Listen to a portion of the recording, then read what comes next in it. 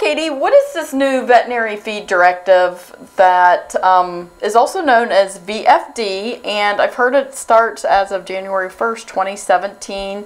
And how is this going to affect our 4 Hers? Great question.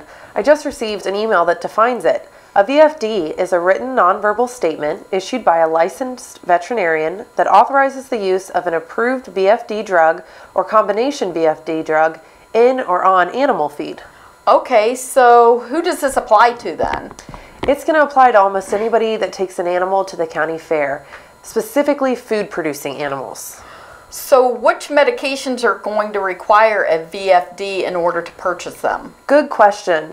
So, the VFD is primarily for antibiotics that used to be offered over the counter that now you need a VFD in order to get. So how do we, as um, a 4-H or a 4-H parent, how do we get this VFD?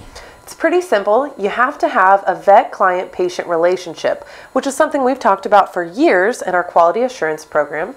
And that basically means that you, as the owner of a species, needs to have an established relationship with a veterinarian within the last six months so that they know your animal well enough to prescribe something for it. Kind of like you need to go for an annual checkup. Oh, okay. So who is allowed, who can get this VFD then? A VFD can be acquired by the actual 4 H member, their parent, or guardian. It can't be done by the 4 H club advisor or senior fair board or an extension office because they don't know your livestock like you do.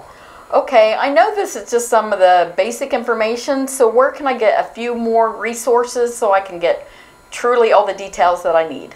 There is a lot more to knowing what a VFD is and how it's going to impact your livestock. Check out your local extension office, your veterinarian, or even most feed stores are up to date on VFD practices because it is again going to go into effect January 1. All right, great. Thanks. Yeah.